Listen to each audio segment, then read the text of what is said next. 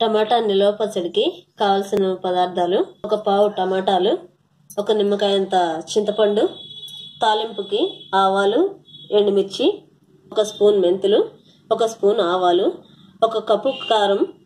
ఇంకా కావాలంటే మీరు వేసుకోవచ్చు పసుపు రుచికి సరిపడా ఉప్పు నూనె ఇంగువ. ముందుగా ఆవాలు మెంతులు పొడిగా వేయించుకుని పొడి చేసుకోవాలి వాటిని.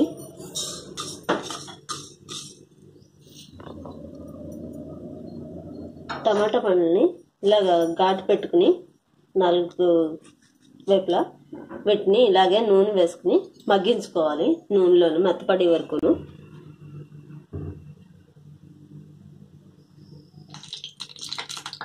నూనె వేడెక్కిన తర్వాత అందులో ఈ టమాటాలని మగ్గించుకోవాలి మెత్తపడే వరకు.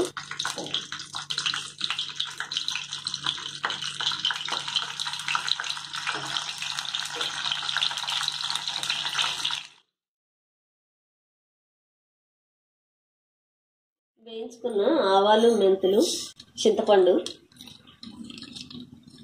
కలుపుకొని మిక్స్ చేసేసుకోవాలి గ్రైండ్ చేసుకోవాలి. మిగిలిన కారం అందులో వేసుకోవాలి.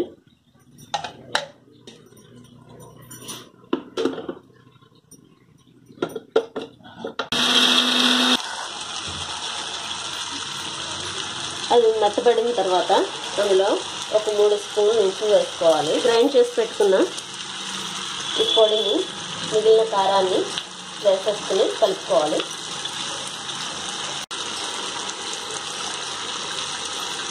కారం అప్పుడు వేసాను. మీకు కావాలంటే ఇంకా కొద్దిగా వేసుకోవచ్చు. కొద్దిగా పసుపు.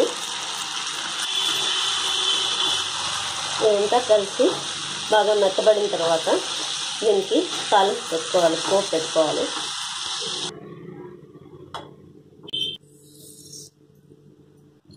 ఆవాలు కొద్ది వేగిన తర్వాత అందులో ఎండుమిర్చి ఇంగువ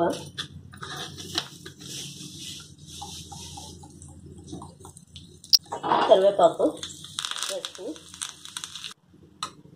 దీన్ని ఇందులో కలిపేయాలి. ఇందులో ఆ మిగిలిన నూనె కూడా వేసేసి కలిపేయాలి.